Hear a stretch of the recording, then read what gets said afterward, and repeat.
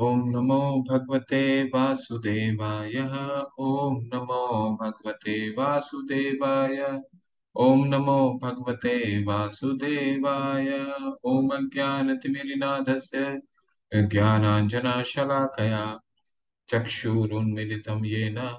तस्मै श्रीगुरुवे नमः। श्रीचैतन्यमनोभीष्टं स्थापितं येन भूतले स्वयं रूप कदा मह्यं ददाति स्वपदान्तिकम्। वन्देऽहं श्रीगुरुं श्रीयुतापदकमलं, श्रीगुरुं वैष्णवांश, श्रीरूपं साग्रजातं सहगना रघुनाथान्वितं सजीवं, साद्वैतं सावधूतं परिजनसहिता कृष्णचैतन्यदेवं, श्रीराधाकृष्णपादान् सहगना ललिता श्री श्रीविशाखावितांश। हे कृष्णा, करुणा, सिन्धु, दीनबन्धु, जगत्पते गोपेश गोपिका कांत राधा कांत नमस्तुते, ताप्त कांचन गौरांगी राधे वृंदावनेश्वरी वृषभानुसुते देवी प्रणमामि हरिप्रिये। वाञ्छाकल्पतरुभ्यश्च कृपा सिन्धुभैव च, पतितानां पावनेभ्यो वैष्णवेभ्यो नमो नमः। नमो विष्णुपादाय, कृष्णपृष्ठाय, भूतले श्रीमते भक्ति भक्तिवेदान्त स्वामीति नामिने। नमस्ते सरस्वते देवे, गौरवाणी प्रचारणे। निर्विशेष शून्यवादी पाश्चात देश तारिणे जय श्री कृष्ण चैतन्य प्रभु नित्यानंदा श्री अद्वैत गदाधर शिवास आदि गौर भक्त वृंद नमो महावदानाय कृष्ण प्रेम पदाय ते कृष्णाय कृष्ण चैतन्य, नामने वरितशे नमः। हरे कृष्णा हरे कृष्णा, कृष्ण कृष्णा, हरे हरे हरे राम हरे राम राम राम, हरे हरे। हरे कृष्णा हरे कृष्णा कृष्णा कृष्णा हरे हरे हरे राम हरे राम राम राम हरे हरे हरे कृष्णा। आप सभी को चौदहवें दिन में आप सभी का स्वागत है। और आज हम करने वाले हैं तीन तीन गुण विभाग योग। तीन गुण विभाग योग इससे इस शुरू करने से पहले ये बहुत महत्वपूर्ण अध्याय है। और ये अध्याय को हमको समझना बहुत महत्वपूर्ण है क्योंकि आज का अध्याय पे अ, पूर्ण रूप से डिपेंड करता है। हमारा अगला सोलह अध्याय सत्रहवां अध्याय और अठारहवां अध्याय। तो आज का आज का जो अध्याय है, बहुत विशेष होने वाला है। कल का अध्याय थोड़ा सा देख लेते हैं। कल भगवान ने प्रकृति, पुरुष और चेतना के बारे में बताया। अर्जुन ने छह प्रश्न करे थे, जिसमें से पूछा था कि क्या पुरुष कौन है? प्रकृति क्या है? ज्ञान किसको क्षेत्र किसको कहते हैं? क्षेत्रज्ञ कौन है? केयम क्या है? ज्ञान क्या है? ये छह प्रश्न करे थे, ठीक है?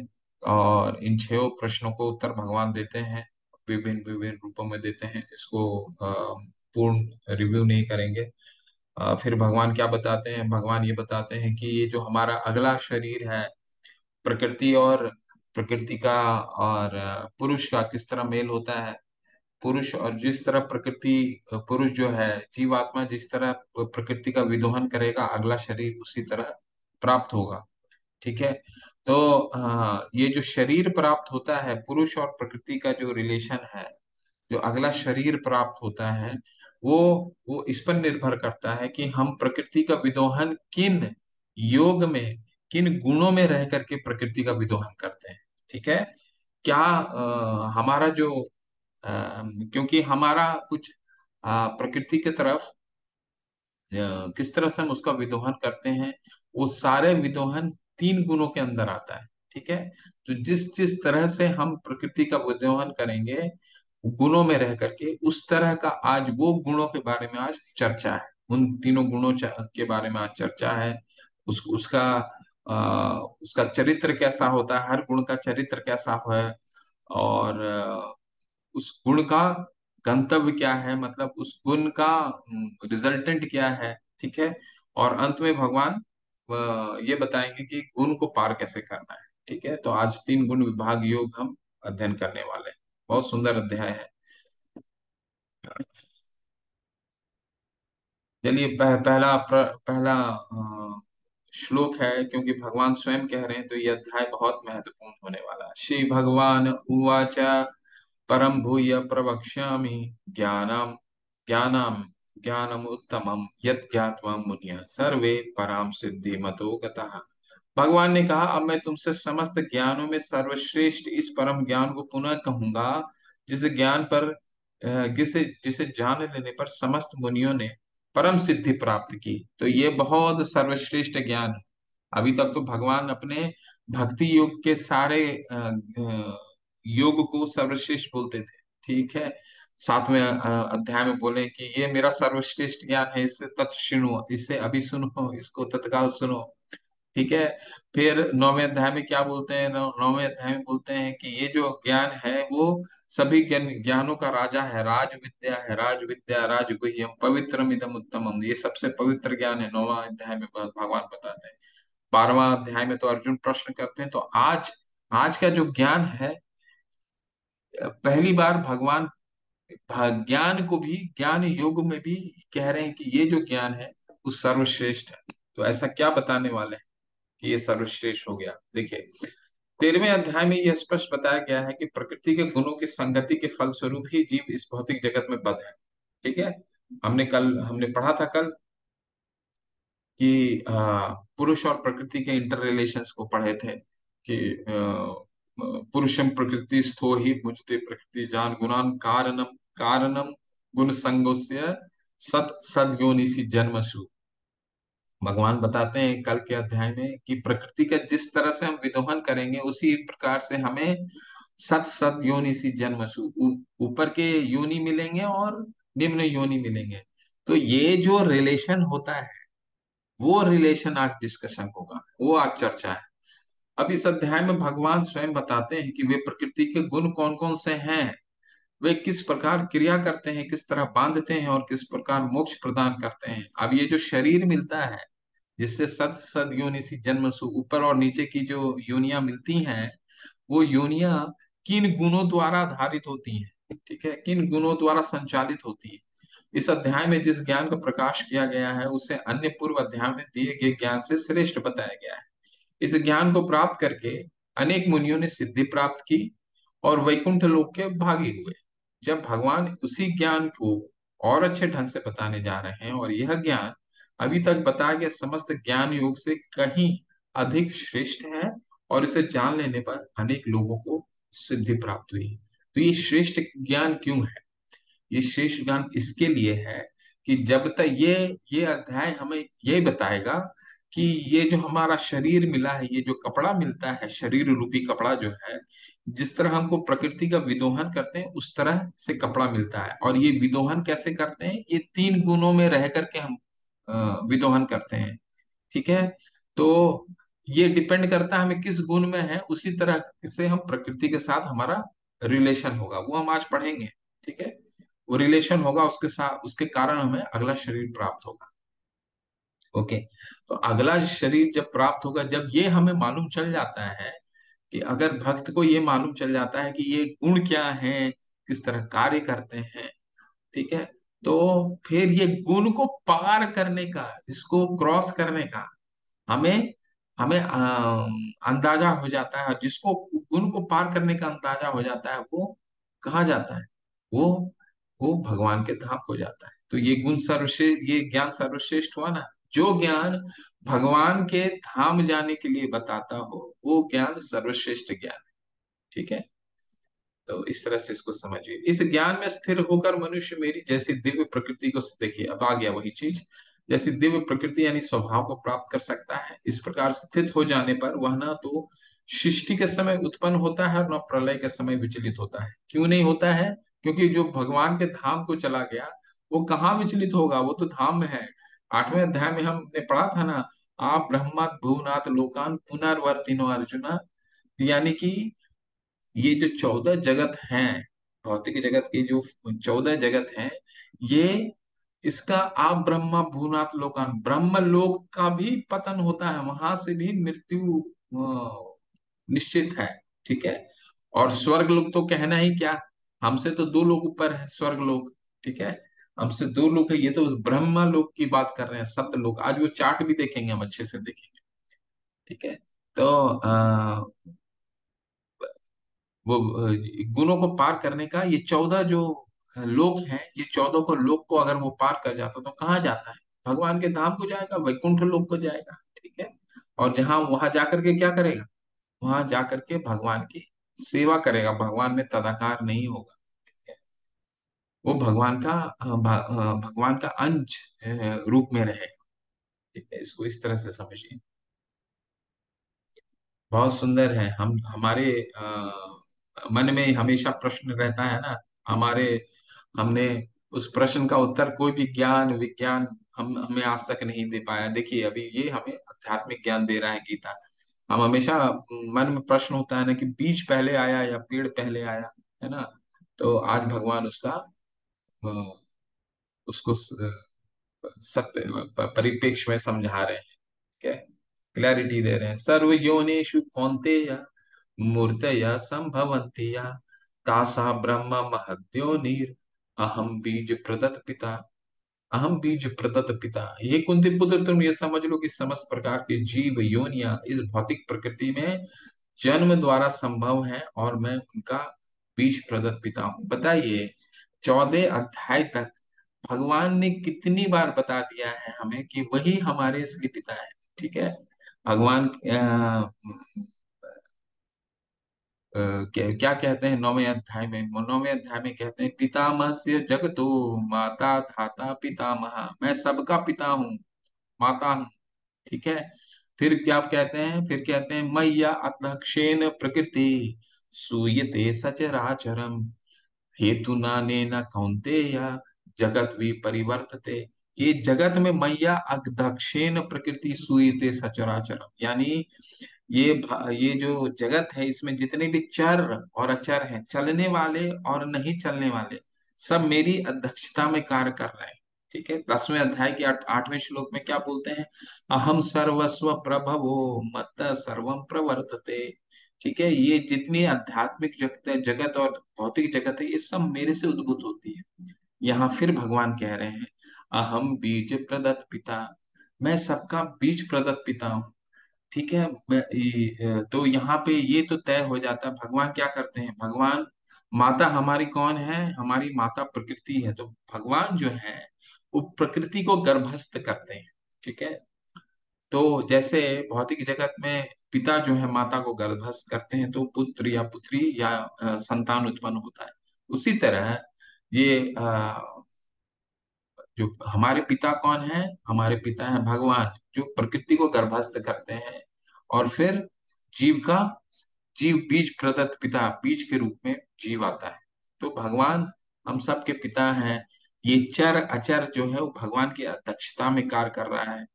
अ, भगवान क्या है? ब्रह्मा जी क्या बोलते हैं? ईश्वर, परम कृष्ण, सच्चिदानंद विग्रह अनादिरादिर गोविंद सर्व कारण कारणम। मैं सभी का कारण हूँ, भगवान कह रहे हैं, ये ब्रह्मा जी कहते हैं। भगवान सभी के कारण है, ठीक है? सब सब कह रहे हैं, ठीक है? सभी का कारण है। मतलब क्या हुआ कि हमारे माता पिता के भी कारण है, उनके माता पिता उनके माता पिता उनके माता पिता उनके माता, और जहाँ ये श्रृंखला खत्म होती है और श्रृंखला भगवान में जाके खत्म होती है। तो भगवान सबके माता पिता हैं, भगवान सबके बीज प्रदत्त पिता हैं, भगवान सबकी अध्यक्ष, ये हम जो भी कार्य कर रहे हैं, भगवान की अध्यक्षता में कार्य कर रहे हैं। हमें भगवान ने तो आँखें दी हैं। आँखें देखी, हम आँखें दी हैं, हमें आँखें, आँखों के द्वारा देखने की क्षमता है हमारे में। लेकिन बारह बजे रात को जब अंधेरा हो जाता है तो क्षमता तो है तो क्या हम देख पाते हैं? नहीं देख पाते। क्यों नहीं देख पाते हैं?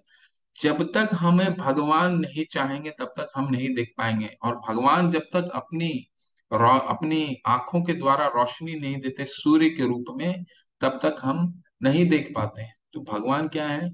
ये सारे चर, अचर, हम सब भगवान के पिता हैं और हम हमारी जितनी इंद्रियाँ हैं, भगवान की अध्यक्षता में ही कार्य कर ठीक है? अब चलिए, ये तीन गुणों का अब प्रदापण कर रहे हैं भगवान। सत्वम रजस तमम इति गुना प्रकृति संभवा निबंधनाति महाबाहो, देहि देहि नमव्ययम भौतिक प्रकृति तीन गुणों से युक्त है। ये है सतो, रजो तथा तमोगुण। हे महाबाहु अर्जुन जब शाश्वत जीव प्रकृति के संसर्ग में, के संसर्ग में आता है तो वह इन गुणों से बंध जाता है। तो भगवान अब ये तीन गुण के बारे में बता रहे हैं। तीन गुण कौन कौन से हैं? सतो गुण है, रजो गुण है, तमो गुण में है। ठीक है? और ये इसके बाद दूसरे लाइन में क्या कह रहे हैं? पहले लाइन में उन्होंने ये तीन गुणों का खुलासा किया और दूसरे लाइन में क्या कह रहे हैं? दूसरे लाइन में कह रहे हैं निबधनाति महाबाहो देहि देहि नमव्ययम यानी कि ये सतोगुण, रजोगुण और तमोगुण में भी रह करके हम बंधे रहते हैं। जैसे ये चित्र के माध्यम से हमेशा समझ लीजिए, बंधे ही रहते हैं। सतोगुण हो सकता है सोने की जेल में बंद हो, रजोगुण हो सकता है लोहे की जेल में बंद हो और तमोगुण हो सकता है काल कोठरी में बंद हो। बंद सारे जेल में ही है। सबको सोने की, हमारे होता है ना ये बड़े बड़े जो लोग हैं, जिनको जेल जब होती है तो उनको जेल में बहुत सुख सुविधाएँ दी जाती हैं। लेकिन है कहाँ वो? वो तो है जेल में ही, ठीक है? उनको जेल के कानून को ही मानना पड़ता है। और जब तक वो जेल के जो मुखिया हैं, उनको वो प्रसन्न नहीं कर लेते, तब तक वो जेल से बाहर नहीं आ सकते। ठीक उसी तरह हाँ ये जो ये जो भौतिक जगत है, वो एक जेल की तरह है, जो भगवान ने हमें एक सुधार गृह ठीक है? ये सुधार सुधार गृह के रूप में दिया है, जहाँ पे भगवान कहते हैं कि हो सकता है तुम सतोगुण में है, बहुत अच्छे गुण में हो रजोगुण हो। अभी हम ये गुणों के बारे में बताएँगे। ये जो तीनों गुण हैं, ये तीनों गुण के द्वारा ही तुम बंध हो। तुम, तुमको नियम कानून दे दिया गया है।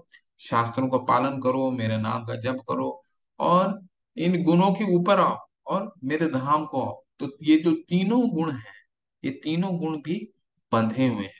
ठीक है? ठीक उसी तरह जैसे एक एक कैदी जो है जेल में बंधा रहता है चाहे वो आ, किसी कोई आ, बहुत बड़ा व्यक्ति हो या कोई निम्न व्यक्ति हो ठीक है?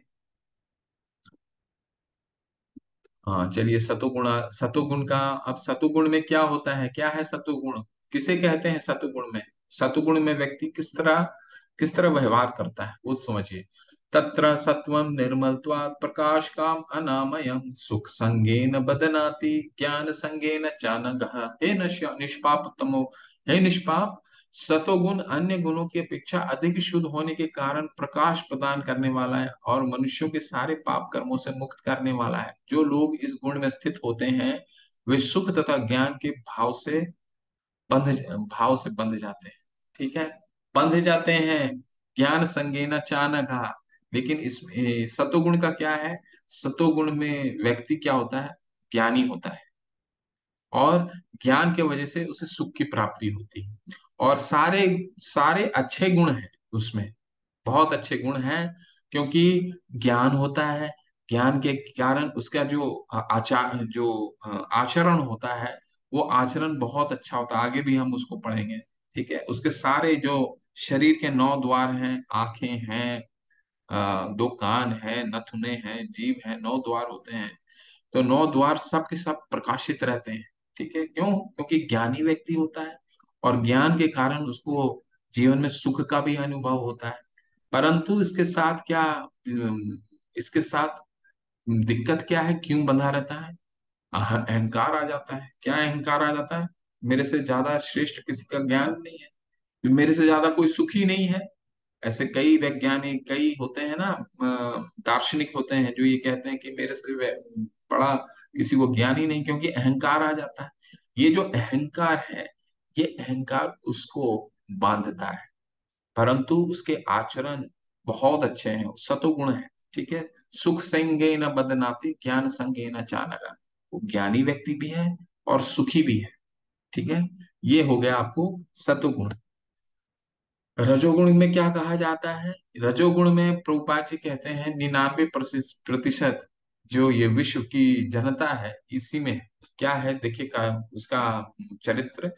रजो राग आत्मकम विद्धि, तृष्णा संग समुद्भवम तत् निबद्धनाति कौंतेय कर्म संगे न ते ही नम हे कुंती पुत्र, रजोगुण की उत्पत्ति असीम आकांक्षाओं तथा तृष्णाओं से होती है और इसी के कारण से यह देहदारी जीव सकाम कर्मों से बंध जाता है।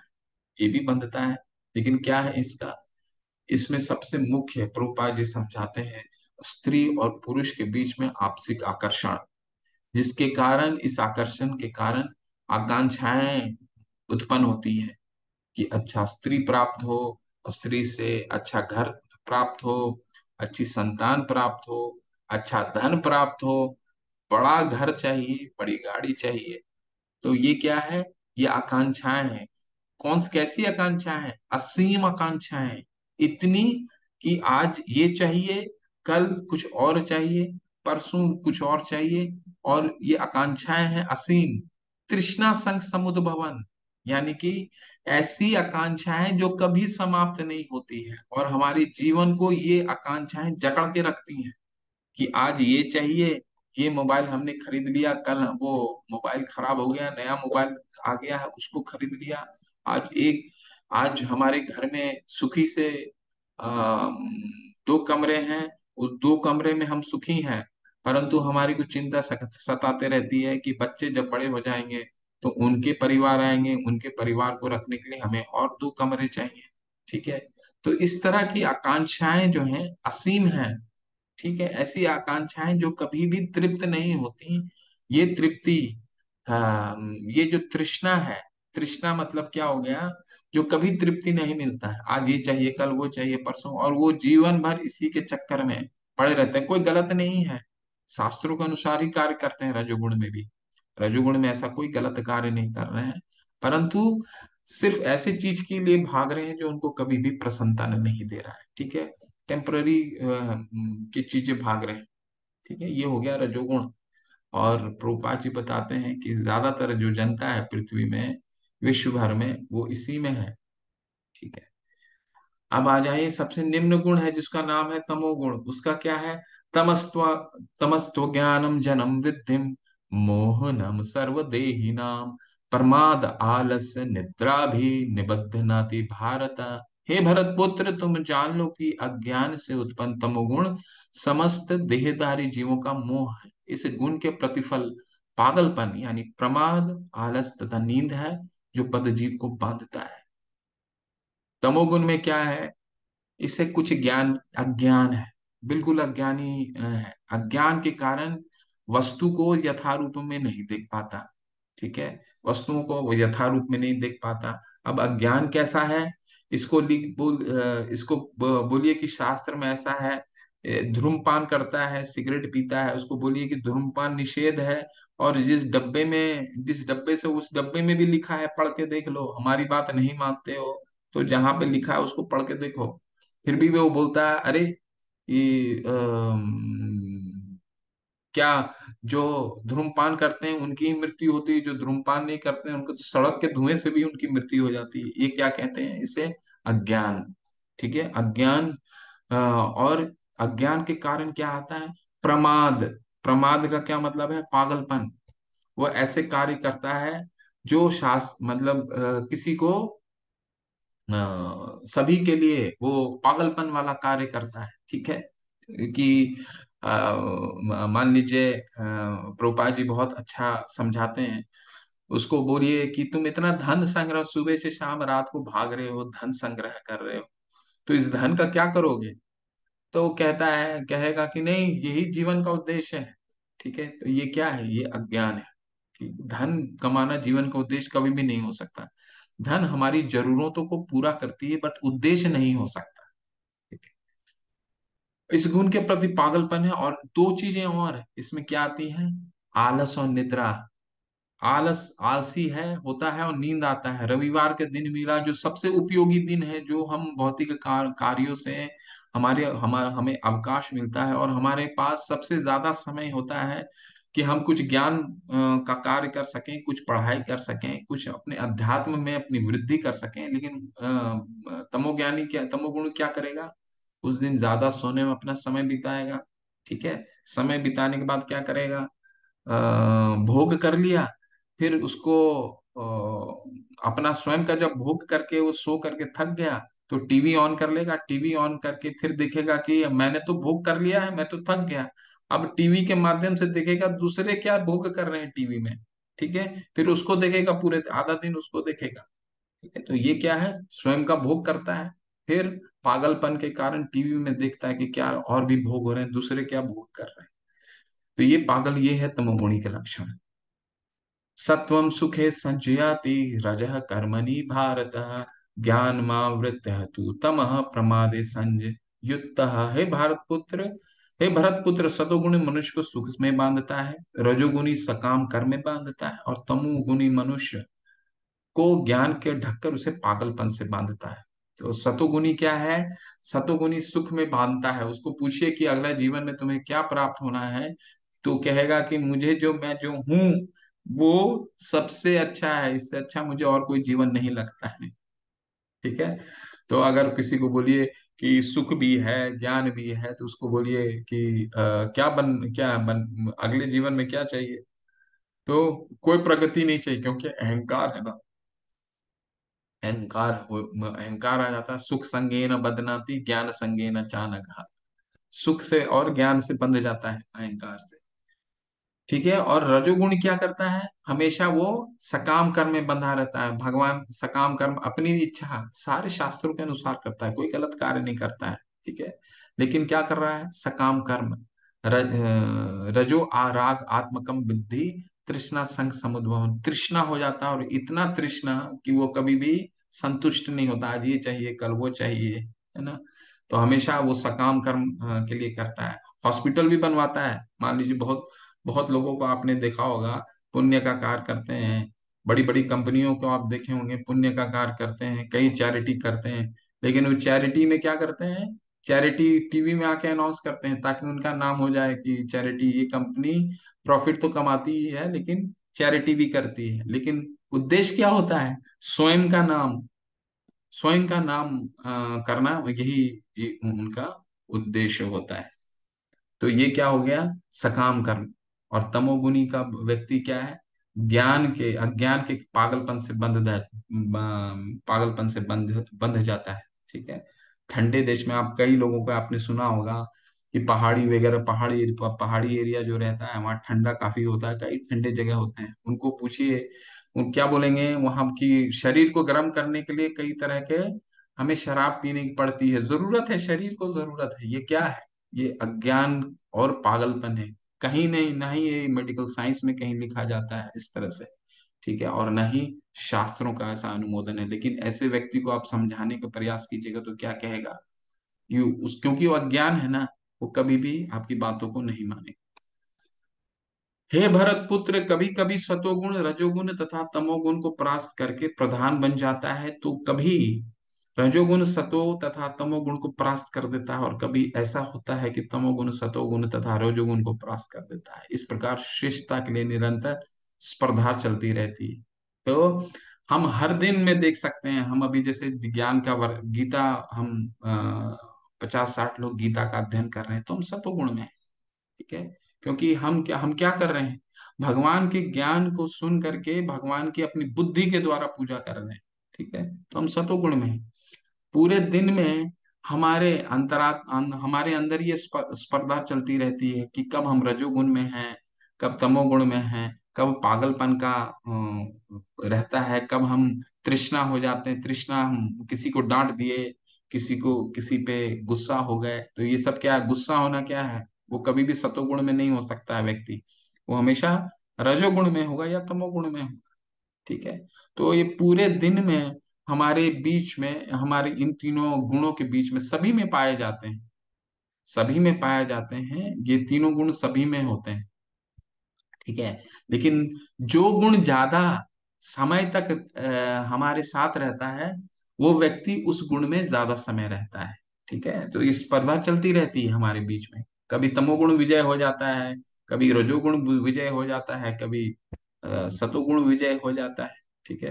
तो हम बाहर का ऑफ़िस का गुस्सा लेकर के आते हैं कभी कभी क्या होता है अपने घर में गुस्सा कर लेते हैं तो क्या हो गया? वो तमोगुण हो गया क्योंकि आ, हम अज्ञान और पागलपन के कारण हम गलत कार्य कर रहे हैं। तो वैसा वैसा क्या हो गया? ये स्पर्धा हमारे बीच में चलती रहती। सतगुण की अभिव्यक्ति को तभी अनुभव किया जा सकता है जब शरीर के सारे द्वार ज्ञान से प्रकाशित होते हैं। तो सारे द्वार ये द्वार कौन कौन है? हमारी आँखें हैं दो आँखें हैं हमारी दो कान हैं चार हमारे दो नथुने हैं छह हमारे मुख हैं सात और हमारे जनेन्द्रिया और हमारी गुदा ये जो हैं ये आ, और हमारे उदर। तो ये हो गए हमारे नौ द्वार। ये हमेशा प्रकाशित होते हैं। प्रकाशित का क्या मतलब हो गया? प्रकाशित हो क्या मतलब हो गया अठारहवें अध्याय के तीसवें श्लोक में भगवान बताते हैं प्रवृत्तिम च निवृत्तिम च कार्य अकार्य भया भय। ठीक है? प्रवृत्तिम च निवृत्तिम च, यानी कि उनको क्या करनीय है, क्या करना है, क्या नहीं करना है, कौन सा कर्म है, कौन सा अकर्म है मतलब कर्म का विकर्म है। प्रवृत्तिम च निवृत्तिम च मतलब इंग्लिश में कहते हैं ना डूज एंड डोंट्स ठीक है? कि हमें जीवन में क्या हमारे जीवन के लिए क्या कर्म है और क्या विकर्म है। गाड़ी को हमें कहाँ पार्क करनी है?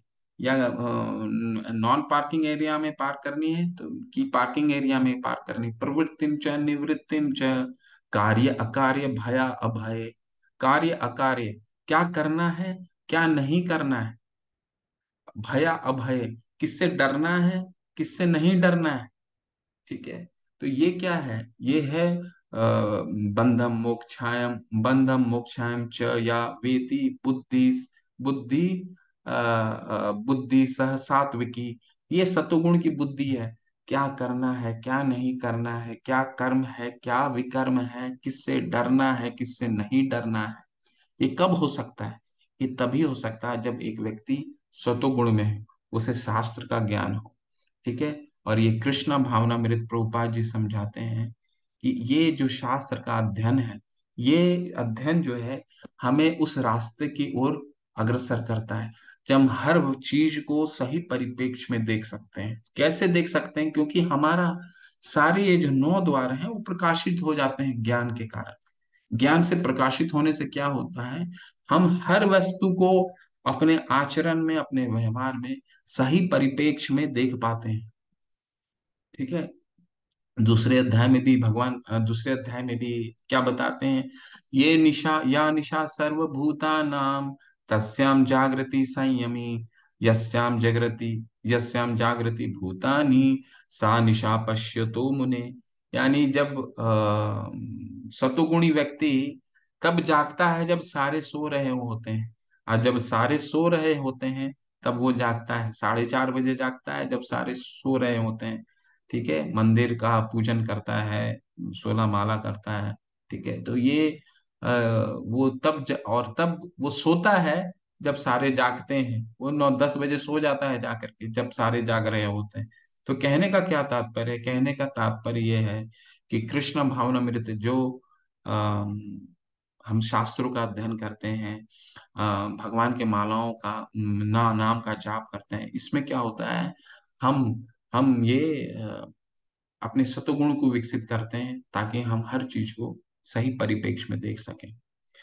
हे भरतवंशियों में प्रमुख जब रजोगुण में वृद्धि हो जाती तो अत्यधिक आसक्ति, सकाम, कर्म, गहन, उद्यम तथा अनियंत्रित इच्छा एवं लालसा का लक्षण प्रकट होता है। तो हमारी इतिहास भी यही बताता है जब पुत्र, भाई, ये हमारी इतिहास इसकी साक्षात गवाह है कि कैसे इतिहास में पुत्र अपने पिता के ऊपर पिता को लालच के कारण हम हटाता है और फिर गद्दी लेता है या फिर राज, वो भोग करता है। महाभारत की रचना इसी में हुई, ठीक है? तो जो रजोगुण में क्या है, जब इसकी वृद्धि होती है तो क्या हो जाता है? आकांक्षाएँ असीम बढ़ने लग जाती हैं, ठीक है? तो ये गीता जो है, ये बहुत महत्वपूर्ण है, जो गीता हमें ये समझाता है कि विद्या क्या है और अविद्या क्या है। विद्याम च अविद्याम च वेदो उभयम सह कहने का मतलब क्या है? जो भगवान का ज्ञान है, उसे विद्या कहते हैं और इसके अलावा जो भी है, वो अविद्या है। परंतु ये दोनों का रहना बहुत ज़रूरी है। क्यों? क्योंकि हम अविद्या से ये भौतिक ये जीवन हम अपना जीवोपार्जन कर सकते हैं।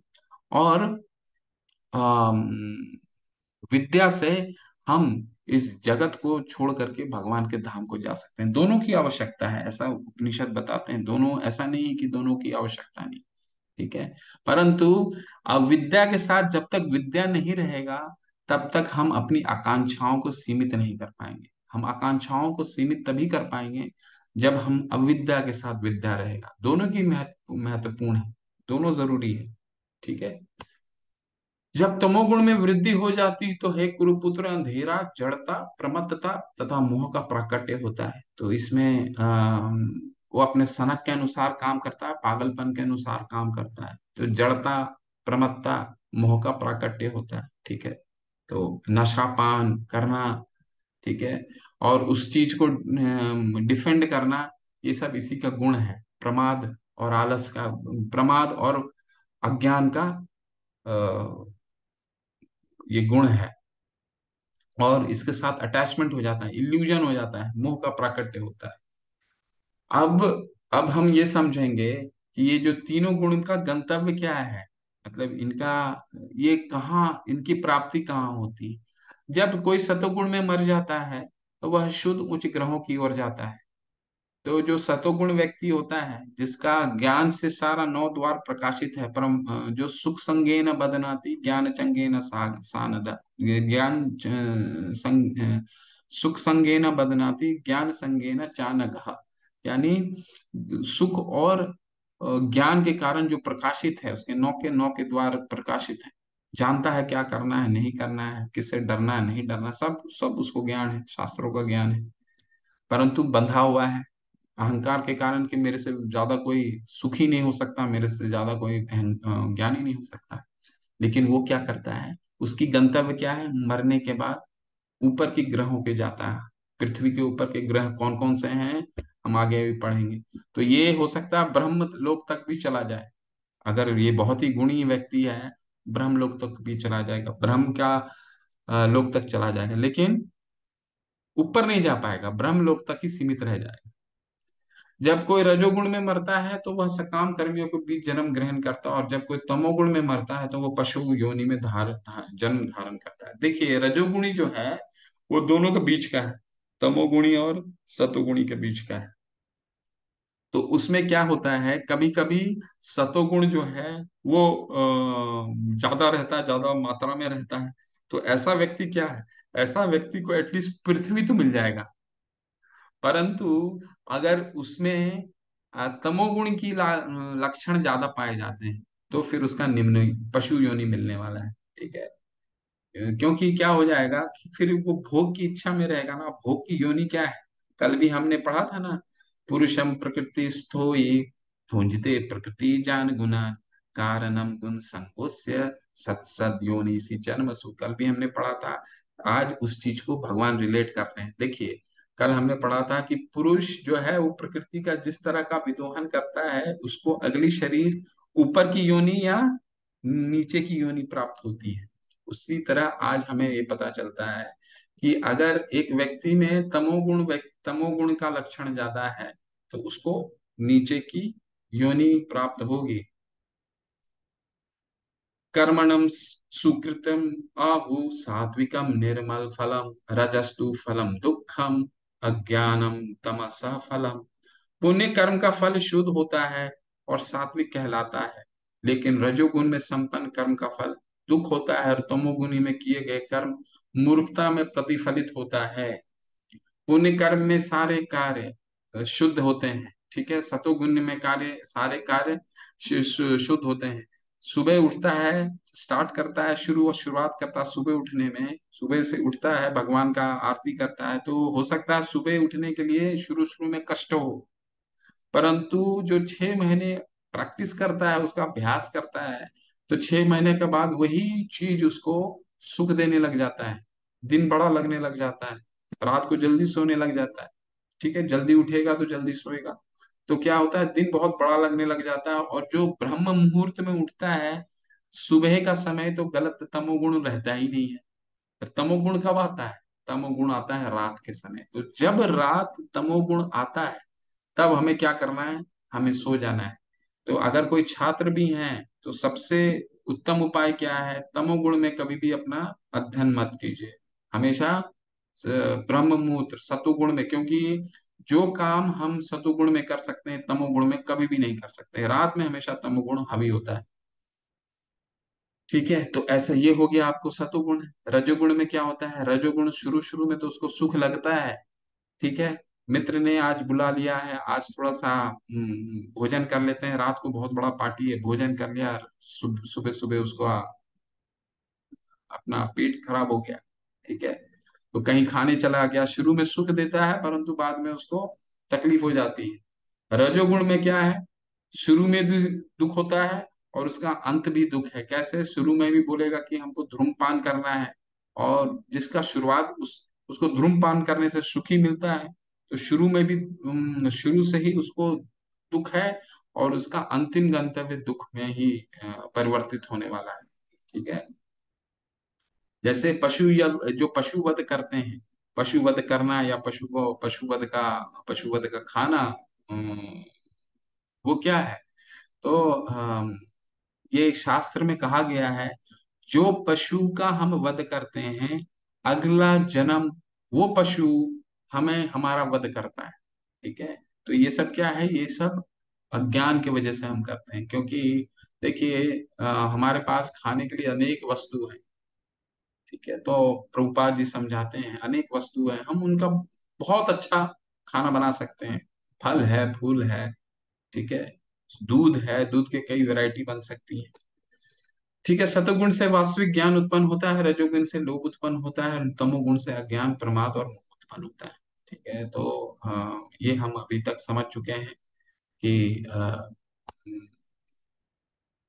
उधर वह गच्छन्ति सत्वस्था मध्ये तिष्ठन्ति राजसाः, जघन्य गुना वृतस्था अधो गच्छन्ति तामसाः। सतोगुणी व्यक्ति क्रमशः उच्च लोक को ऊपर जाते हैं, रजोगुणी इसी पृथ्वी पर रह जाते हैं, और जो अत्यंत ग्रहित तमोगुण में स्थित रहे, वह नीचे नरक की ओर जाते हैं। ठीक है? तो प्रभुपाद जी बताते हैं, ये कृष्णा भावनामृत जो आंदोलन है, ये आंदोलन एक तमोगुणी को रजोगुणी तक लेके जाता है और रजोगुणी को सतोगुणी तक लेके जाता है। तो जो साधु होते हैं वो क्या करते हैं? साधु चुन चुन करके रजोगुणी को ढूंढते हैं ताकि उनको तमोगुणी को ढूंढते हैं ताकि उनको रजोगुणी बना जा, जा सके रजोगुणी से तमो सतोगुणी बनाया जा सके और फिर कृष्ण भावना भावनामृत बनाया जा सके ठीक है? तो सोचिए प्रभुपाद जी ने उस समय तो गूगल नहीं था। जब प्रभुपाद जी थे लेकिन माइंड में गूगल था उनका। उन्होंने गूगल किया कि सबसे, इस पूरे विश्व भर में सबसे ज़्यादा तमोगुणी व्यक्ति कहाँ पाए जाते हैं? ठीक है, कहाँ हैं? तो वो चले जाते हैं उस जगह में जहाँ पे सबसे पतित आत्माएँ रहती थी। कहाँ? अमेरिका के वो गलियों में जहाँ पे हिप्पीज रहते थे, जो सब तरह के घृणित कार्य करते थे। ठीक है, चाहे वो अवैध संग हो, नशापान हो ठीक है, चोरी हो, डकैती हो, सारा घृणित कार्य करते थे और उनको वहाँ से वो उठाते हैं, फिर अगला जगह जाते हैं, फिर अगला जगह जाते हैं, फिर अगला जगह जाते हैं। तो ये कृष्णा भावना मृत का यही, इस आंदोलन का यही उद्देश्य है कि तमो को रजो रजो को सतो तक ले जाया जाए और सतो से फिर, सतो से फिर फ़्लाइट को ऊपर लेके जाया जाए। मतलब वो आपका रनवे में आ जाता है। सतोगुणी का क्या मतलब है? जब हम फ़्लाइट पकड़ते हैं ना तो रनो रनवे में आती है ना फ़्लाइट तो हमें तैयार हो जाना है कि अब शुद्ध सतोगुण की ओर वो जहाज़ उड़ेगी।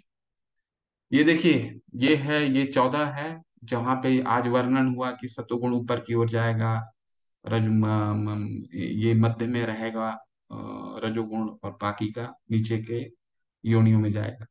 तो ये आपके भौतिक जगत का एटलस है, गोलोक का चार्ट का एक छोटा सा भाग है। तो हमारे, हम किस, हमारे ऊपर कितने हैं? भूवर लोक है, स्वर्ग लोक है, महर है, जन है, तप है, सतलोक है और नीचे के अतल, वितल, सुतल, प- तलातल, महातल, रसातल और पाताल। ठीक है तो नीचे आप देख रहे हैं, कल मैंने आपको कई बार बताया गर्भो ये गर्भक ओशन है, जहाँ पे गर्भोदक्षाएँ, विष्णु लेटे रहते हैं और इनके नाभि कमल से, जैसे चित्र के माध्यम से देखिए नाभि कमल से उनको नाभि से उनका कमल का नाल जा रहा है और सबसे ऊपर में सत्यलोक में विराजमान है, जहाँ ब्रह्मा जी की उत्पत्ति होती है। ठीक है? और ये जो पूरी सृष्टि भौतिक जगत है, इसकी अधिष्ठाता देवी कौन है? दुर्गा माँ है। ठीक है? दुर्गा माँ जो है, अधिष्ठाता देवी है। ये हमें त्रिशूल दिखा के त्रैताप देती रहती हैं। त्रैताप क्या होता है? त्रैताप होता है अधिदैविक ये जो तीन त्रिशूल हैं त्रिशूल का तीन अ, मतलब होता है तीन डिनोशन है जिसको ये ती त्रैताप बोला जाता है। इसको क्या ये तो एक होता है अधिदैविक अधिभौतिक आध्यात्मिक अधिदैविक जो आपदा हमें प्राकृतिक रूप में आती है। फ्लड आ गया भूकंप आ गया कोरोना आ गया ये क्या है? प्राकृतिक आप, आपदा ये हमें दुर्गा माँ दैविक अधिदैविक रूप में देती है। दूसरा अधिभौतिक अधिक भौतिक का क्या मतलब हो गया? जो जो दूसरे हमें कष्ट देते हैं। ये दुर्गा माँ का त्रिशूल का दूसरा आदि भौतिक जो दूसरे हमें कष्ट देते हैं। हम सड़क पे जा रहे हैं पीछे से एक साइकिल वाले ने आए हमें हमारे अ, पैर में उसने धक्का मार दिया। हमारा पैर को इंजरी मिल गया या कई दूसरे हमारे हमें बुरा भला, इतना बुरा भला कह करके चले गए कि हमारे हृदय को बहुत आघात पहुँचा। ठीक है? तो ये सब क्या होता? है आधि भौतिक। ठीक है? ये दूसरे जो हमें कष्ट देते हैं और एक अंत में आता अध्यात्मिक। जो स्वयं हम, जो स्वयं हम अपने दुखों के कारण हैं। ठीक है? हम रोड में आप देखते हैं ना, रोड रेज कई कितने ही रोड रेज होते हैं। एक दूसरे को कर देते हैं और फिर हम चिल्लाने लग जाते हैं कई दूसरे पे या फिर ऐसा होता है कि हमने किसी को अपशब्द कह दिया और आवेश में आकर अपशब्द कह दिया और सामने वाले हमें हमें किसी ना किसी रूप में प्रत्युत्तर देता है, चाहे उस समय बोल के प्रत्युत्तर दे या बाद में हमें किसी तरह से आघात पहुँचाए। तो ये त्रैताप बोला जाता है। त्रैताप जो ये त्रिशूल हैं, ये देवी माँ जो है, हमें त्रैताप देती ही देती हैं। क्यों देती हैं त्रैताप? ताकि हम भगवान के प्रति आकृष्ट हों और देवी माँ का काम ही है हमें त्रैताप देना ताकि हम जाने कि ये जो भौतिक जगत है दुख का घर है और हम अपने वहाँ पे जाने का प्रयास करें जहाँ पे सर्वथा शाश्वत सुख है, सतचित आनंद है, वहाँ शाश्वत सुख है। इसलिए भग माता है, वो तय त्रैताप हमें देती रहेंगी। हम कितना भी बच जाए, ठीक है? तो लेकिन ये त्रय ताप से नहीं बचेंगे। अधि भौतिक अधिदैविक और आध्यात्मिक। ठीक है? जब कोई ये अच्छी तरह जान लेता है कि समस्त कार्यों में प्रवृत्ति के प्रकृति के तीन गुणों के अतिरिक्त अन्य कोई करता नहीं और जब ये परमेश्वर को जान लेता है तो इन तीनों गुणों से परे वह मेरे दिव्य स्वभाव को प्राप्त होता है। तो आगे आने वाले श्लोकों में हम यही पढ़ने वाले हैं। जब देहधारी जीव भौतिक शरीर से संबंध इन तीन गुणों को लांघने में समर्थ होता है तो वह जन्म, मृत्यु, बुढ़ापा तथा अनेक कष्टों से मुक्त हो सकता है और इस जीवन में अमृत का भोग कर सकता। तो अब भगवान इन तीनों गुणों के पार करने की तरफ़ जा रहे हैं और चौदह, चौदहवें अध्याय का हम अंतिम पड़ाव में जा रहे हैं। पहले तो उन्होंने ये गुण के बारे का, गुण के बारे में विस्तार से चर्चा किया, ठीक है? लेकिन यह क्या बता रहे हैं? ये जो तीनों गुण हैं, ये हमें बांधते हैं, चाहे वो सतो गुण हो, चाहे वो सुख और ज्ञान के से बंधा हो, या फिर तृष्णा संग समुद्भवन हमारी असीम आकांक्षाओं से बंधा हो रजोगुण या फिर प्रमाद आलस निद्रा भी, प्रमाद पागलपन, अज्ञान और नींद से हम जकड़े हुए हों। ये तीनों से ऊपर उठने का क्या काम भगवान बताते हैं? ये जब तीन गुणों से ऊपर उठोगे, तभी तुम्हें कष्ट का निवारण मिलेगा, नहीं तो दुख देवी माँ जो है, वो त्रिताप देती रहेंगी तुमको। अर्जुन अब पूछते हैं, ठीक है? भगवान अब मुझे बताइए हे भगवान जो इन तीनों गुणों से पर है वे किन लक्षणों के द्वारा जाना जाता है? उसका आचरण कैसा होता है और वह प्रकृति के गुणों के किस प्रकार लांगता है? तो अब भग, अर्जुन जो है वो पूछ रहे हैं इनको जाना कैसे जाता है? आपने तो बता दिया कि ठीक है मुझे जो इन तीनों गुणों को पार कर जाता है वो मुझे प्राप्त करता है। ठीक है? तो ये किन गुणों के द्वारा जाना जाता है? इसको कैसे में पहचान सकते हैं। तो फिर वही गुणों का वर्णन आने वाला है, जो कल भी भगवान ने बताया था, बारहवें में भी बताया था। चलिए, पढ़ते हैं। भगवान ने कहा, हे पांडुपुत्र, जो प्रकाश, आसक्ति तथा मोह की उपस्थिति होने पर न तो उसे घृणा करता है और न लुप्त हो जाने पर उनकी इच्छा करता है। जो भौतिक गुणों की इन समस्त प्रक्रियाओं से निश्चल तथा अविचल रहता है, और यह जानकर कि केवल गुण की गुण की क्रियाशील है, उदासीन तथा दिव्य बना रहता है। पहले उन्होंने क्या बना कि लक्षण क्या है? तो क्या लक्षण बताते हैं भगवान? कि किसी से ईर्ष्या नहीं करता, ठीक है? ये तो अब तक समझ ही गए होंगे कि ईर्ष्या कौन करता है? इस सतुगुणी में जो व्यक्ति, वो भी ईर्ष्या करता है, क्योंकि ज्ञान का घमंड है ना। और अगर जो इन ज्ञानों से ऊपर चला जाता, वो किसी से ईर्ष्या ही नहीं करता। किसी वस्तु के लिए ललाहित नहीं रहता, ठीक है? उदासीन रहता है। एक जज के भांति उदासीन रहता है। जज क्या है? जज जो है, वो जब अपना जजमेंट दे रहे होते हैं तो वो ये नहीं देखते, उन बिल्कुल उदासीन रहते हैं। उनको कोई मतलब नहीं होता कि सामने वाला को वो पुरस्कार दे रहे हैं और या सामने वाले को वो दंड दे रहे हैं, ठीक है? वो अपने अपने जस्टिस से वो बिल्कुल उदासीन रहते हैं, ठीक है? उसी तरह जो भक्त है, वो सब चीज़ से उदास रहता है। भक्ति में लगा रहता है। ठीक है क्वेश्चन दूसरा क्या है? क्वेश्चन दूसरा ये है अर्जुन पूछते हैं कि अ, वो किन लक्षणों और उसको कैसे पहचाने? ठीक है तो वो बिल्कुल अनुकूल और प्रतिकूल स्थिति में जो मिट्टी को ढेले पत्थर एवं स्वर्ण के टुकड़ों के समान दृष्टि से देखता है जो अनुकूल तथा प्रतिकूल के प्रति समान बना रहता है जो धीर प्रशंसा तथा बुराई मान तथा अपमान में समान भाव से रहता है जो शत्रु तथा मित्र के साथ समान व्यवहार करता है और जिसने सारी भौतिक कार्यों का परित्याग कर दिया है, ऐसे व्यक्ति को प्रकृति के गुणों से अतीत कहते हैं। तो कहने का क्या मतलब है? कहने का मतलब है, जो भी परिस्थिति आए, अनुकूल या प्रतिकूल, प्रभुपाद जी अमेरिका गए थे तो हार्ट अटैक आ गया, जेब में पैसे नहीं है। ये नहीं मालूम है कि अमेरिका में जाकर के शुद्ध शाकाहारी खाना मिलेगा, नहीं मिलेगा। इन सबों से परे क्यों? क्योंकि इनका क्या कार्य है? साधु है। साधु का क्या कार्य होता है?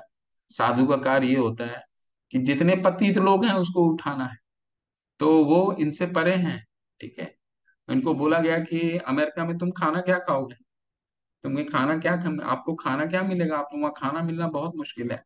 तो उन्होंने पूछा कि वहाँ शाकाहारी जिनको कोई पैसा नहीं होता है जिनके पास पैसा नहीं होता, वो क्या खाते हैं?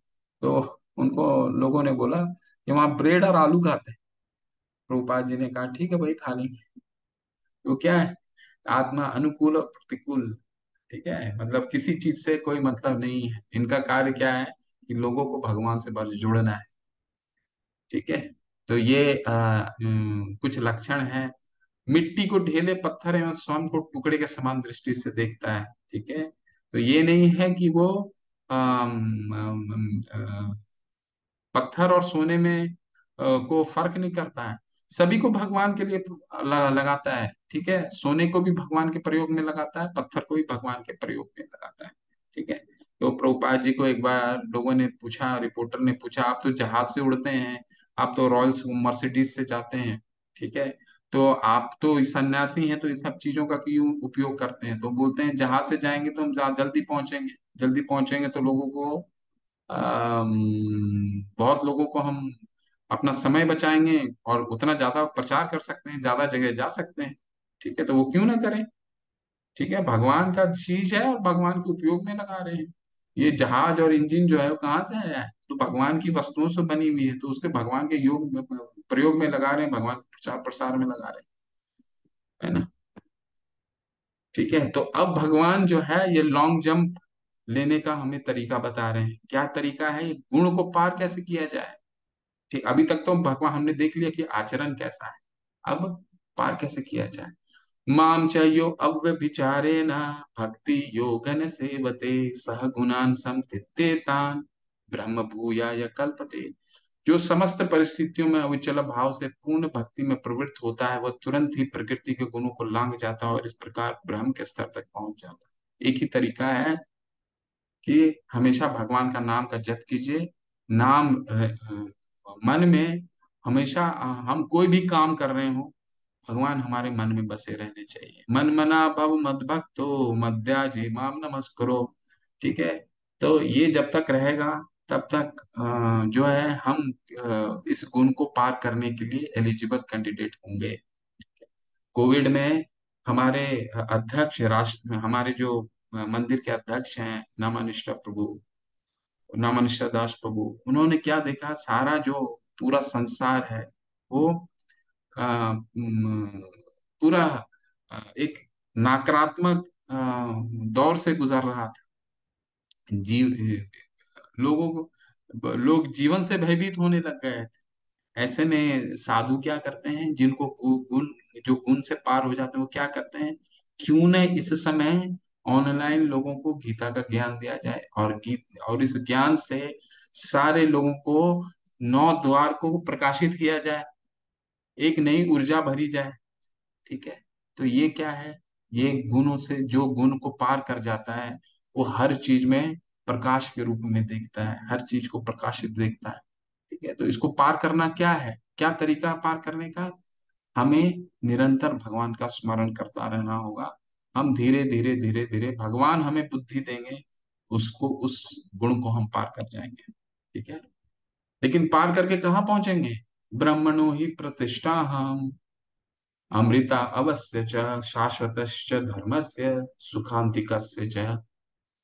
और मैं मैं ही उस निराकार ब्रह्म का आश्रय हूँ, जो अमर्त्य, अविनाशी तथा शाश्वत है और चरम सुख के स्वाभाविक पद है। तो ये गुण को पार करते हैं गुण को पार करते करते हम भगवान का पहला स्तर, वो कौन सा है? ब्रह्म स्तर, वहाँ पहुँच जाता है। वहाँ भी भक्ति करती रहनी पड़ेगी। ठीक है?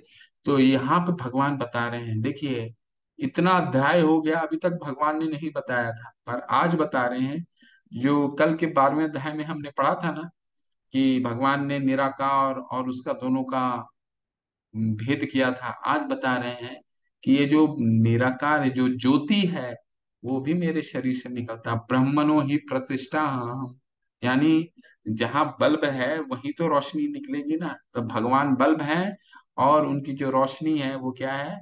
उनकी रोशनी लाइट है, जिसपे निर्विशेषवादी ध्यान लगाते हैं। ठीक है? तो गुण को पार करने का यही तरीका है और जो गुण को पार कर जाता है तो वो भगवान के ब्राह्मण में पहुँच जाता है। तो ये प्रभुपाद जी क्या कहते हैं इस अध्याय के बारे में? जीव यद्यपि स्वभाव से ब्रह्म होता है और अपनी स्वाभाविक स्थिति में स्थिति में जीव तीनों गुणों से परे होता है। लेकिन प्रकृति के संसर्ग में अपने को तीन गुणों सतो, रजो तथा कमो गुण में बाँध लेता है। इन्हीं तीनों गुणों के संसर्ग के कारण उसमें भौतिक जगत पर प्रभुत्व जताने की इच्छा होती है। तो प्रभुपाद जी समझा रहे हैं, हमारा अस्तित्व जो है वो हम शुद्ध सतगुण ही होते हैं। ठीक है? हम हम इस धरातल पे आते हैं जब ये जड़ के साथ, ये प्रकृति के साथ हमारा जड़ पदार्थ के साथ हमारा जब मिलन होता है, जब इसके संसर्ग में आते हैं तो फिर हम अपने आप को बदलना शुरू करते हैं क्योंकि इसमें हम प्रभुत्वता जताना शुरू करते हैं और यहीं से कहानी चेंज होती है।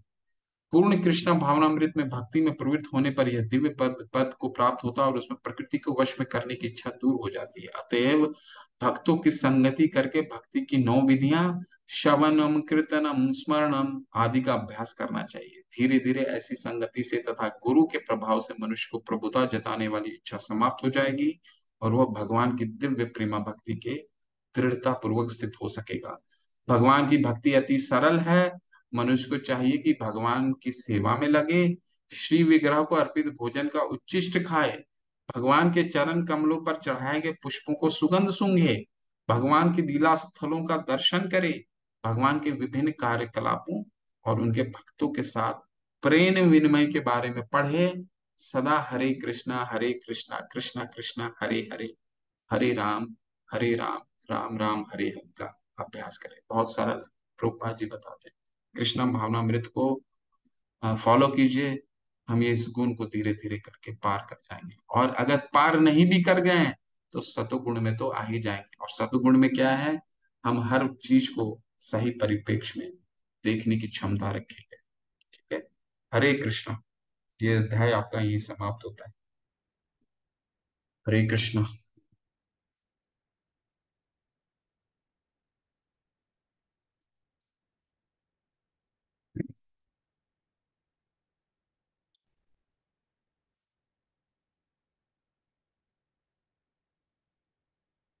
आपके कुछ आप चर्चा करना चाहता कर, कर सकते हैं। कल बहुत लोग चर्चा नहीं कर पाए थे तो आज बात कर सकते हैं। हरे कृष्ण प्रभु जी। हरे कृष्ण प्रभु जी दंडवत प्रणाम। दंडवत प्रणाम प्रभु। प्रभु जी मैं तो कल की क्लास कुछ स्वास्थ्य कारणवश नहीं अटेंड कर पाया था। कोशिश की थी अटेंड करने की शुरू के पंद्रह मिनट पर। स्वास्थ्य ने ऐसा आज्ञा नहीं दी मैं देख भी नहीं पा रहा था स्क्रीन। तो मैंने कल की क्लास छोड़ दी थी और यूट्यूब पे भी एक्चुअली सिर्फ़ दस चैप्टर तक ही डले हुए हैं। उसके बाद कुछ अपडेट नहीं आया था। मैंने सुमित प्रभु जी को बता दिया हालाँकि। मैं चाह रहा था कि कल की क्लास अटेंड करके ही आज की क्लास आगे बढ़ूं पर उसमें अपडेट्स नहीं मिले तो मुझे डायरेक्ट ही आज की क्लास अटेंड करनी पड़ी। तो शायद आशा करता हूँ कि कल वो अपडेट हो जाएगी तो मैं तेरहवा अध्याय फिर से एक बार उसमें देख लूँगा। जी जी। और मुझे त्रैताप फिर से एक बार थोड़ा सा अगर समझा दें। हम्म। देवी जी का। और ये जो आप जीव बोलते हैं तो अभी कई बार आपने बताया अभी शुरू में बताया जीव का एक्चुअल मीनिंग क्या होता है? मनुष्य होता है कि जो हमारे अंदर जो आत्मा है वह है जीव है? आत्मा प्रभु मनुष्य तो शरीर है। जी वो हमारा भौतिक प्रकृति हो गई जी। ठीक है जो जी। आत्मा है हम उसको जीव संबोधन मतलब आत्मा के लिए किया गया। बिल्कुल बिल्कुल जीव मतलब आत्मा। जी प्रभु जी बहुत बहुत धन्यवाद। और ये त्रैताप एक बार एक एक वर्ड फिर से बता दें जो अति अति दैविक अति भौतिक और अति आध्यात्मिक। अधि अधिदैविक होता है प्राकृतिक आपदा जो आती है ठीक है? जी। प्राकृतिक आपदा जो अपना भूकंप हो गया बाढ़ हो गया बारिश हो रहा है अभी देखिए कई जगह में कैसे बारिश हो रहा है ठीक है? तो इतनी वो त्रैताप है वो अधिदैविक हो गई दूसरा होता है अधिभौतिक अधिभौतिक का मतलब होता है जो दूसरे हमें ताप देते हैं जो दूसरे के कारण हमें कई कष्ट होते हैं ना जो दूसरे देते हैं हमें। वो किसी रूप में दे सकते हैं हमें। किसी जैसे मैंने आपको उदाहरण के रूप में बताया कि आप सड़क पे जा रहे हैं किसी ने आपको पीछे से आप को रिक्शे से मार दिया या साइकिल से मार दिया गाड़ी में जा रहे हैं पीछे से आपको किसी ने लगा दिया तो ये क्या होता है? दूसरे जो आपको दूसरे के कारण आपको जो तकलीफ़ पहुँचती है। और अंत में आता है आध्यात्मिक। आध्यात्मिक का कारण है आध्यात्मिक होता है जो जो कष्ट आपको स्वयं के कारण आप भोगते हैं। आपने स्वयं कई गलतियाँ की होते हैं किसी को आपने अपशब्द बोल दिया उस उसके कारण आपको कई तरीके से प्रत्युत्तर वो सामने वाला दे सकता है ठीक है? जो स्वयं के गलतियों के कारण आपको कष्ट भोगने पड़ते हैं वो हो जाता है अ, आध्यात्मिक जो दूसरे देते हैं उसे अति भौतिक और जो त्रैत जो अप्राकृतिक आपदा होती है वो होता है। जी अधिदैविक ठीक है? बहुत बहुत धन्यवाद बहुत बहुत धन्यवाद प्रभु जी। हरे कृष्ण। हरे कृष्ण।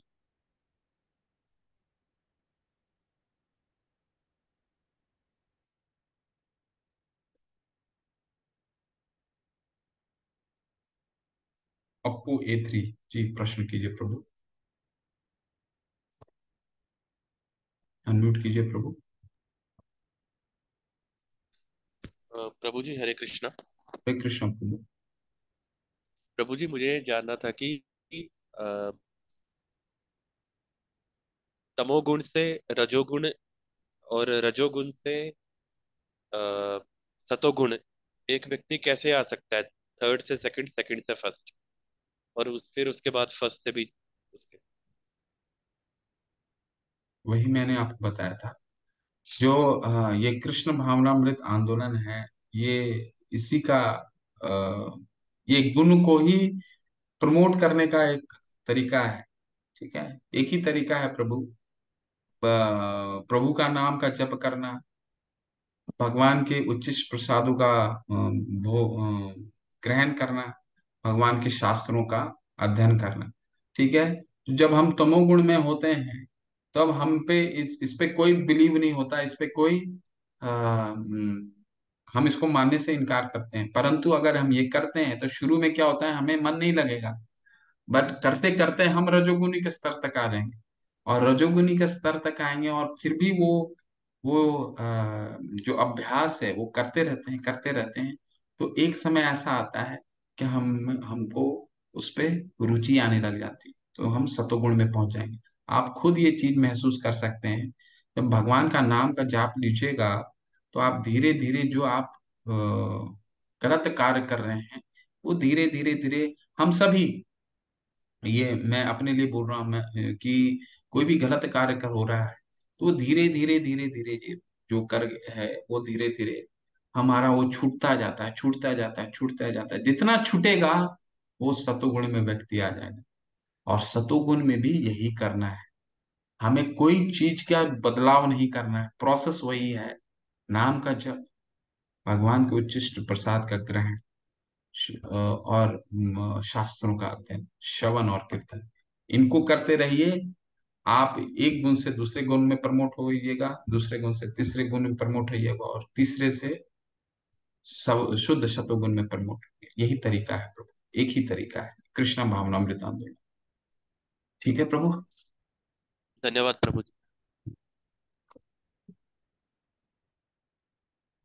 जी प्रभु और कुछ पूछना चाहते हैं आशीष प्रभु? जी जी प्रभु जी अभी तुरंत ही दस सेकंड पहले ही दिमाग में प्रश्न है प्रभु जी जैसे बताया गया है कि हर परिस्थिति में जो संभाव रहता है सबसे उच्च स्थिति तो वही होती है कि कैसी भी परिस्थिति आए प्रतिकूल आए चाहे अपने सम, समक्ष आए या फिर प्रतिकूलता है अनुकूलता है मृत्यु है दुख है सुख है सब में एक जो संभाव बना के रखता है भगवान को सबसे प्रिय वही होते हैं।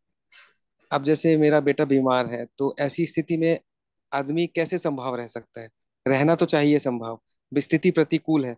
मोह भी नहीं करना चाहिए ज़्यादा। माँ बाप ये सब अभी जो चीज़ बताई गई है उस हिसाब से ये सब चीज़ें मोह के परे रखनी चाहिए। लेकिन इसमें संभाव बना के कैसे रखे ऐसी परिस्थितियों में आदमी?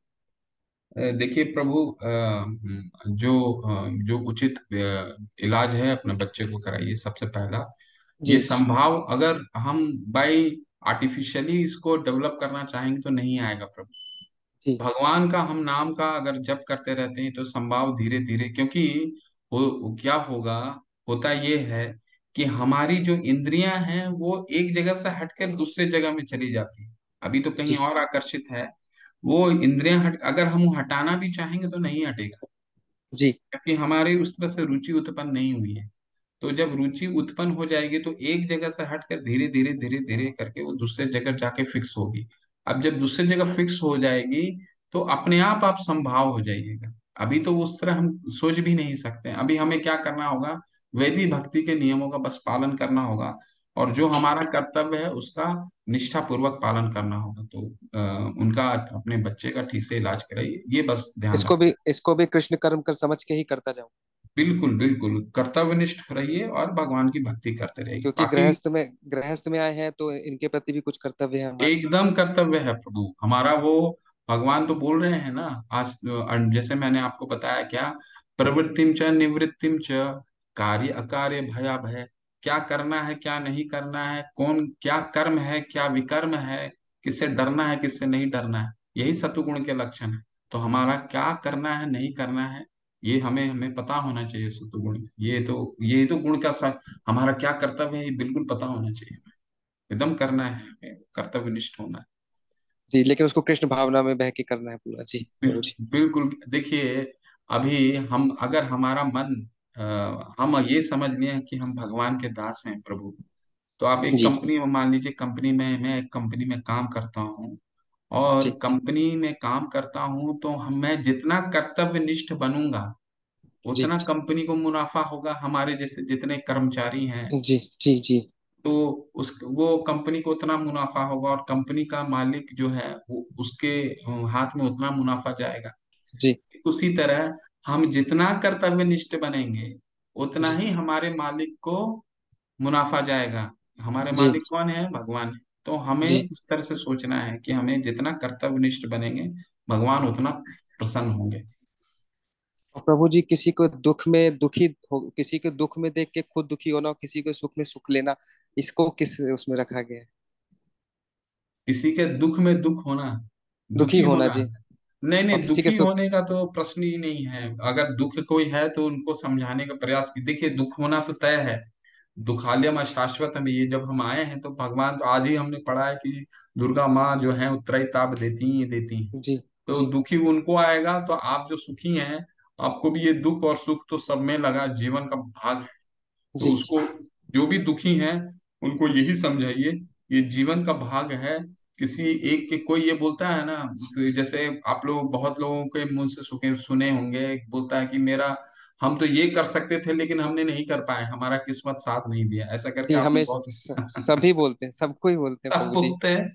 तो सारे बोलते हैं ये बात। जी जी। लेकिन भगवान कहते हैं सुहृदय सर्वभूता नाम जिसके भाग में जो लिखा वो मिलना ही मिलना है। ठीक है? वो उसके लिए वही है वही निहित किया गया है वही पा सकता है। उसको कोई उसको तोड़ नहीं सकता। तो ये समझाने का सबको प्रयास करना है। गीता में ये वच दिया गया है कि सुख और दुख जो हैं वो सीज़न की तरह आते हैं और जाते हैं। तो हमें, हम जितना भगवान की भक्ति करेंगे, उतना इन चीज़ों को समझने में हम सामर्थ्य प्राप्त करेंगे और उतना संभाव होते जाएँगे। आएगा ही आएगा। ऐसा नहीं है कि जो भक्ति कर रहा है उसके जीवन में सुख और दुख नहीं आएगा, सबको आएगा। लेकिन हम भक्ति करते हैं तो थोड़ी हमारी आध्यात्मिक शक्ति धीरे धीरे धीरे धीरे हम शक्तिमान बनते जाते हैं। और हमारे को उसको हैंडल करने का, उसको हम और थोड़ा सा हमारे स्ट्रेंथ मिलता है। ऐसा है प्रभु। मतलब कोई बहुत दुखी हो तो अश्रु बहाने से अच्छा है उसको संबल दिया जाए उसको बताया जाए सब बिल्कुल उसको सबसे पहले बोलना है जितना हो सके उसको बोलिए कि एक माला का जाप कीजिए ज़रूर आपको कुछ ना शांति मिलेगा। अब वो शुरू में तो नकार नकार देगा कि हम दुखी हैं तुम क्या बोल रहे हो? माला का जाप करो करके। बोले और यही उपाय है और कोई दवा नहीं क्योंकि हम बीमार हैं और बीमार में अगर दवाई नहीं देंगे तो और क्या मिलेगा? और क्या हम खुद ही अगर स्वस्थ होना चाहें तो हम तो स्वस्थ हो ही नहीं सकते। जी जी। है ना? तो जी तो बहुत बहुत धन्यवाद बहुत बहुत धन्यवाद प्रणाम प्रभु जी धन्यवाद कृष्ण। हरे कृष्ण हरे कृष्ण प्रभु जी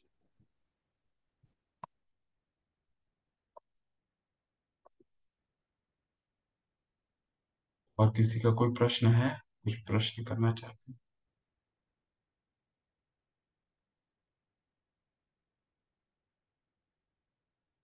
कल बहुत सुंदर अध्याय आने वाला पुरुषोत्तम योग, हमारा पुरुषोत्तम मास गया है। भगवान कहेंगे कि मैं पुरुष में सबसे उत्तम हूँ और भगवान हमारे लिए क्या क्या करते हैं, वो कल हम बताएँगे। भगवान अपने अध्याय में बहुत बहुत सुंदर अध्याय है वो, ठीक है? छोटा अध्याय है और बहुत सुंदर अध्याय। भगवान हमारी किस तरह से, वो पुरुष में उत्तम क्यों है, वो पूरा बताएँगे उस अध्याय में। तो आप लोग, सब लोग आइएगा, उस अध्याय को ज़रूर सुनिए।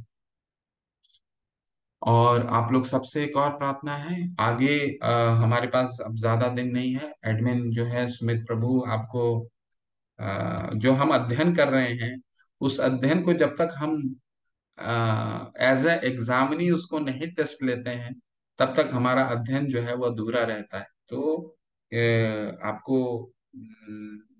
बहुत अच्छे क्विजेज दिए गए हैं। उसको समाधान कीजिए उसको पढ़िए और उस क्विज को अटेम्प्ट कीजिए क्विज को अटेम्प्ट करेंगे तो आप अठारह दिन के बाद उसका सर्टिफिकेट प्राप्त कर सकते हैं, ठीक है? तो प्रभु सुमित प्रभु हमारे चैट में वो डाल रहे हैं तो उसको अटेम्प्ट कीजिए। पढ़िए, पढ़ना ज़रूरी है, क्योंकि ये पूरा मूवमेंट जो है, शिक्षा पे आधारित है, ठीक है? तो ये शिक्षा को हम जितना ग्रहण करेंगे, उतना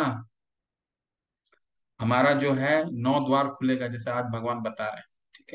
हम सुन करके और श्रवण और कीर्तन के माध्यम से ही हम अपने ज्ञान को सुदृढ़ कर सकते हैं और शरीर के नौ द्वार को खोल सकते हैं, प्रकाशित कर सकते हैं, ठीक है? तो उसको क्विज को अटेम्प्ट कीजिए, सर्टिफिकेट लीजिए और फिर इस गीता को और आगे के लेवल में इसका अध्ययन कीजिए, क्योंकि इसको करीबन छह बार अक्सर प्रभुपाद जी कहते हैं कि जब तक छह बार नहीं पढ़ेंगे, कम से कम छह बार नहीं तो ये तो जीवन का जीवन का ग्रंथ है, ठीक है? तो जीवन में हर हर समय पढ़ते ही रहना है इस ग्रंथ को। जितनी बार पढ़िएगा, एक नया आपको रोशनी मिलेगी इस गीता, इस ग्रंथ से। इसको अगले लेवल में पढ़िए, फिर इसको तीसरे लेवल में पढ़िए, इसको चौथे लेवल में पढ़िए और पाँचवें लेवल में पढ़िए। ठीक है? और सारे सारे सारा हमारा एजुकेशन जो है वो निःशुल्क है। बस पढ़ते रहिए। गोलों का चार्ट हिंदी में भेजने का कष्ट करें। तो गोलों का चार्ट हिंदी में भेजने का कष्ट करें। गोलों का चार्ट मालूम नहीं मुझे हिंदी में है नहीं होना चाहिए शायद प्रभु भेजेंगे। अ, सुमित प्रभु है क्या? अ, गोलों का चार्ट हिंदी में? तो भेज दीजिए चैट बॉक्स में। ठीक है या फिर ग्रुप में भेज दीजिए।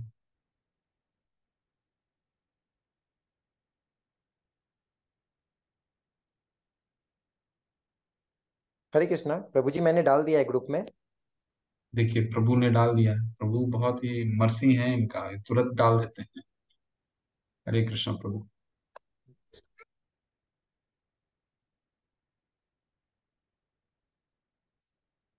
ठीक है? फिर चलते हैं किसी का कोई और प्रश्न करना चाहते हैं।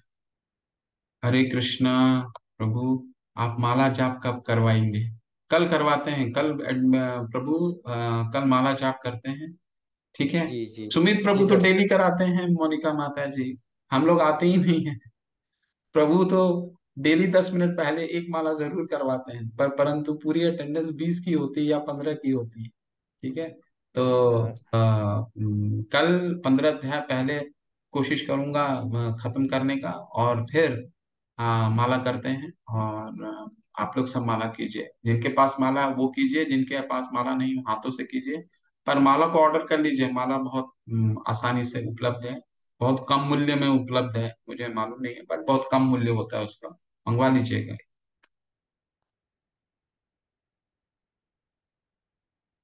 इंग्लिश में है इंग्लिश वाला भेजे सुमित जी। मैं देखता हूँ, सुमित प्रभु, हिंदी में पता नहीं, मुझे मैंने देखा नहीं है, पता नहीं होता है, नहीं होता है फूलों का चार्ट बट देखते हैं प्रभु, अगर मिल पाया तो ज़रूर शेयर करेंगे। मोनिका माता जी कल चैटिंग कल चैंटिंग करेंगे। ठीक है? कल आप हमारा ज़रूर साथ में करेंगे।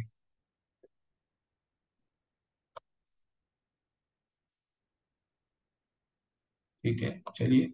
और अ, किसी का प्रश्न नहीं है तो सेशन पॉइंट करते हैं। वाञ्छा कल्पतरुभ्यश्च कृपा सिंधु च पतितानां पावने भयो वैष्णवे भयो नमो नमः। अनंत कोटि वैष्णव वृंद की जय शिल प्रभुपाद की जय नामाचार्य हरिदास ठाकुर की जय। आप सभी को हरे कृष्णा हरे कृष्ण।